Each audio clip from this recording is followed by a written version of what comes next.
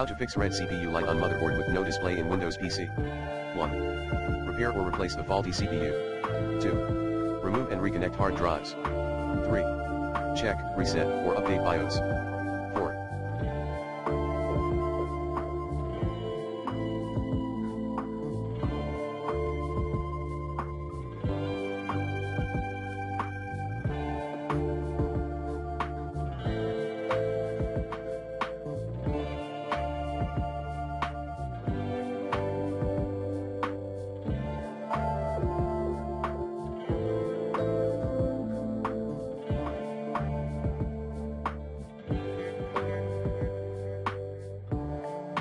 Check RAM and GPU.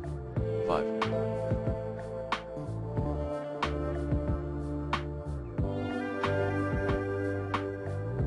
Reset and replace the CMOS battery. 6. Get a new motherboard. 7. Other tips. Wait then try rebooting your PC. Check then reconnect your power cables. Remove all devices.